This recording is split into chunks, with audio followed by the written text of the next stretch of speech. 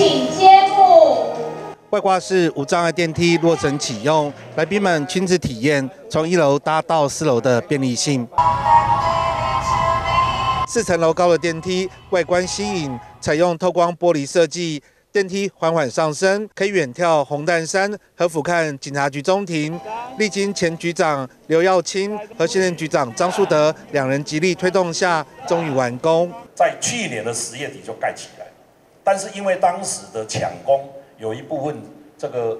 设计规划没有按照政府的规定，所以这一个电梯一直没有办法用。那当然我们是公家机关，没有没有这个使用执照，大家敢不敢用？不敢用啊！万一有发生公安问题，谁负责？那经由警整个警察局，还有我们啊清安宫，还有我们这个二信哦，这个谢家、同家，还有社会各界给我们支持，今天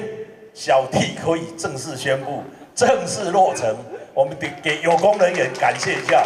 启用典礼邀请了副市长邱佩玲、副议长杨秀玉和捐款者一起剪彩，共同见证这历史性的一刻。呃，真的很开心可以参加这样的活动，看到最有爱的就从我们的警察局开始。相信，因为基隆是老地方，很多老式建筑势必要用这种方式。希望因为这个而开启一个很好的点，让基隆让所有人民更方便。呃，再一次谢谢张局长这段时间的努力，也谢谢所有企业界朋友跟所有宗庙大家的捐赠，一起让基隆更好。代表我父亲谢修平先生来参加今天的这个我们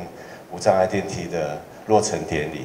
那昨天我跟我爸爸说我要来这边，那我爸爸特别提要要要我跟大家报告说，我们祖就是祖父三代，从我爷爷谢修谢青云先生，然后到我爸爸谢修平先生，到现在的国良，我们对。基隆的警政都是最最支持，而且最感谢的。我们都知道基隆市是一个老旧的城市，有很多这个长者非常的多，包括一些就是呃就是行动不方便哦，就是所以就是因为我们基隆市警察局没有电梯嘛，那也因为我们同同勇同主委哦，也是我们的国策顾问，他的发起在呃刘耀清局长那个那个时候哈，他发起的，所以今天终于落成了，非常感谢我们的所有的赞助厂商。基隆市的老老人的人口是全。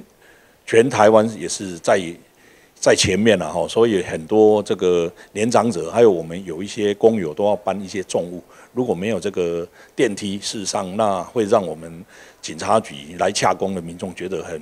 不方便啊。基于种种上述的理由，我们才来建立。那也在我们庆安宫同主委，还有我们市长啊，这个杜谢院联慈善基金会的支持，还有社会各界的支持之下，今天正式。完工啊，这个正式啊启用，届时可以大让我们的市政的满意度，或者是来警察局洽公的民众更加的舒适，更加的便利。